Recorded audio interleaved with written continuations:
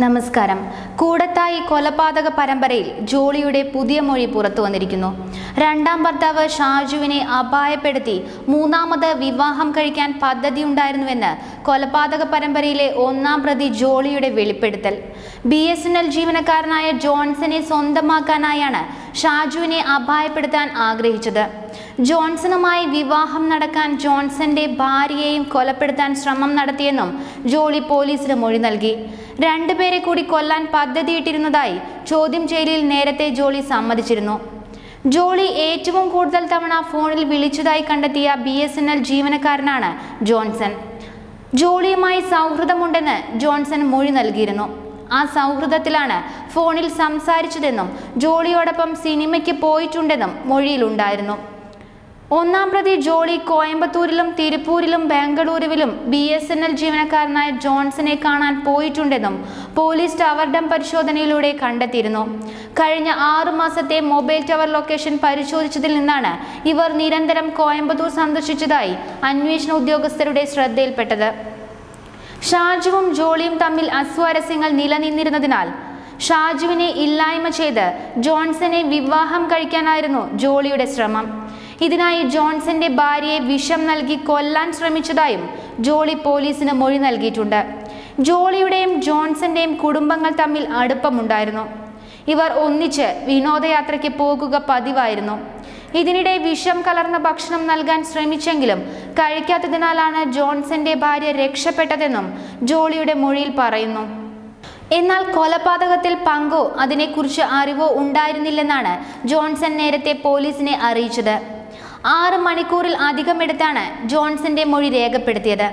ജോളിയുമായി Johnson ഫോണിൽ ദീർഘ സംഭാഷണം നടത്തിയതിന്റെ തെളിവുകളും അന്വേഷണ സംഘത്തിന് ലഭിച്ചിരുന്നു. തന്നെയും അപായപ്പെടുത്തുമോ എന്ന ജോളിയുടെ രണ്ടാം ഭർത്താവ് ഷാജുവിന്റെ മൊഴികൾ ശരിവയ്ക്കുന്നതായിരുന്നു ജോളിയുടെ പുതിയ മൊഴി. ജോളി തന്നെയും വധിക്കുമെന്ന് പേടിച്ചിരുന്നുവെന്നും അതുകൊണ്ടാണ് ഭാര്യയുടെയും മകളുടെയും മരണം കൊലപാതകമാണെന്ന വിവരം പുറത്തു പറയാതിരുന്നതെന്നും ഷാജു നേരത്തെ പോലീസിന് മൊഴി നൽകിയിരുന്നു. കൊലപാതകങ്ങളെക്കുറിച്ച് അറിയാമായിരുന്നെന്ന് ജോളിയുടെ രണ്ടാം ഭർത്താവ് ഷാജു വ്യക്തമാക്കിയിരുന്നു. ജോളി തന്റെയും സിലിയുടെയും മകനെയും കൊല്ലുമോ എന്നും പേടിച്ചിരുന്നു. അതുകൊണ്ടാണ് അവനെ കൂടത്തായിയിലെ വീട്ടിൽ നിർത്താതിരുന്നത്. ജോളിയെ പേടിച്ച് താമരശ്ശേരിയിലെ സ്കൂളിൽ നിന്നും മകനെ മറ്റൊരിടത്തേക്ക് മാറ്റിയെന്നുമാണ് ഷാജു അന്വേഷണ സംഘത്തിന് മൊഴി നൽകിയത്. ജോളിയുമായി പ്രണയത്തിലായിരുന്നില്ലെന്നും കുട്ടിയുടെ സംരക്ഷണം ഓർത്താണ് രണ്ടാമതൊരു വിവാഹത്തിന് സമ്മതിച്ചതെന്നും ഷാജു വിശദീകരിച്ചിരുന്നു. കൂടത്തായി കൊലപാതക പരമ്പരയിലെ കൊലപാതകങ്ങൾ നടപ്പാക്കിയ രീതി സംബന്ധിച്ച കൂടുതൽ വിവരങ്ങൾ പുറത്തു വന്നതിന് പിന്നാലെയാണ് മറ്റു രണ്ട് കൊലപാതകത്തിന് കൂടി പദ്ധതിയിട്ടിരുന്നതായുള്ള ജോളിയുടെ മൊഴി പുറത്തു വരുന്നത്. ഭർത്താവ് റോയുടെയും ബന്ധുവായ മഞ്ചാടി മാത്യുവിനെയും ജോളി കൊലപ്പെടുത്തിയത് മദ്യത്തിൽ വിഷം കലർത്തിയെന്ന് ചോദ്യം ചെയ്യലിൽ വ്യക്തമായിരുന്നു. ഭർത്തൃപിതാവ് ടോം തോമസിനെയും ഷാജുവിന്റെ ആദ്യ ഭാര്യ സിലിയെയും കൊലപ്പെടുത്തിയത് വൈറ്റമിൻ ക്യാപ്സൂളിൽ പൊട്ടാസ്യം സയനൈഡ് കലർത്തിയെന്നും അന്വേഷണ സംഘം വ്യക്തമാക്കി.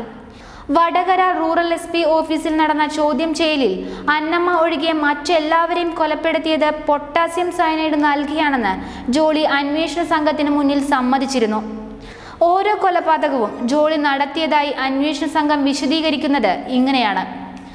ആദ്യ കൊലപാതകം രണ്ടായിരത്തി രണ്ടിലാണ് നടക്കുന്നത്. ഭർത്തൃമാതാവ് അന്നമ്മയെ കൊലപ്പെടുത്തിയത് ഭക്ഷണത്തിൽ വിഷം കലർത്തി. പെരിച്ചാഴിയെ കൊല്ലാൻ കൊണ്ടുവന്ന വിഷമാണ് ഇതിന് ഉപയോഗിച്ചതെന്നും ജോളി സമ്മതിച്ചു. രണ്ടാമത്തെ കൊലപാതകം രണ്ടായിരത്തി എട്ടിൽ ഭർത്തൃപിതാവ് ടോം തോമസിനെ കൊലപ്പെടുത്തിയതാണ്. വൈറ്റമിൻ ക്യാപ്സൂളിൽ പൊട്ടാസ്യം സയനൈഡ് നിറച്ച് ഇതേ രീതിയിൽ തന്നെയാണ് ഷാജുവിന്റെ ഭാര്യ സിലിയെയും കൊലപ്പെടുത്തിയതെന്നും അന്വേഷണ സംഘം പറയുന്നു.